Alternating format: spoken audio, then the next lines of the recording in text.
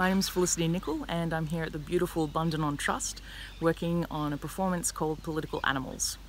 This is a piece that focuses on queer rights in Australia from 1978 through till now.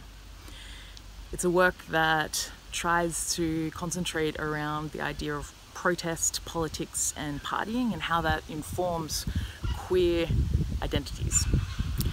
It's also a work that works with verbatim source materials, so news headlines or legal documents, and essentially I'm trying to find ways to queer them.